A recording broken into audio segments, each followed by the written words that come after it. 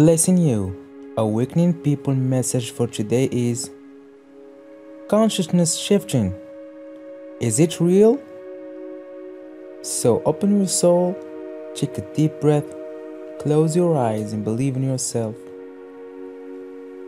The evolution of awareness on the planet has been slowed down too much and for far too long by an imbalance of darkness right here since I was a child, it mystified me why humans will be so cruel with every different.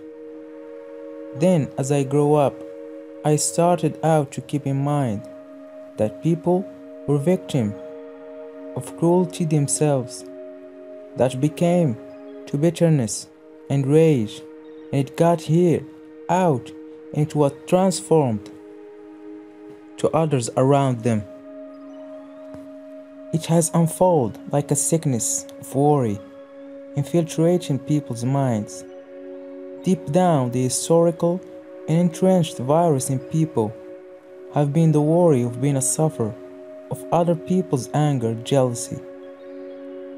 Allows bear in mind who we truly are. Our bright essence permits hold the mild within ourselves so our tiny spark can connect to all of the other tiny sparks around the world and make all of it lighter and extra loving.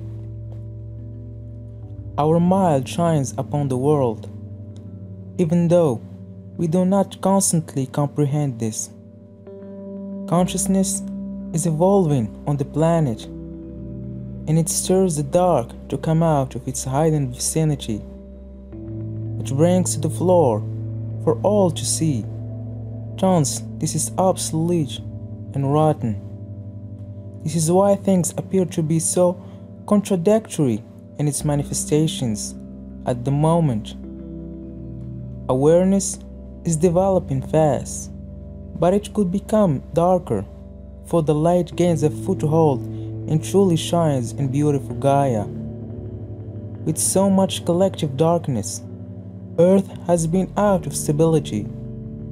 Fortunately, there are many beings incarnate now who carry the light, and that is what is giving our planet the possibility to experience a shift of an Earth that has been overrun by darkness.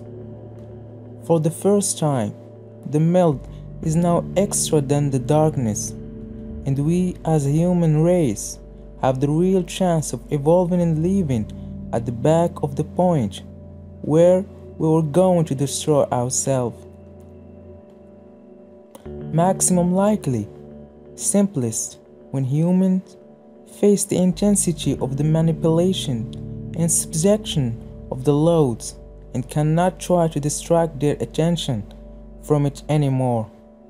We will be all be able to unite collectively and create a world of freedom and pleasure. Inside the meantime, our individual task is to remain at peace, loving what's without circumstances, and be trustworthy.